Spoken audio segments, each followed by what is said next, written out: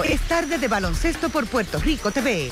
No te pierdas a Puerto Rico versus Jordania en el torneo de repechaje mundial por Puerto Rico TV, canal oficial de las Olimpiadas Londres 2012.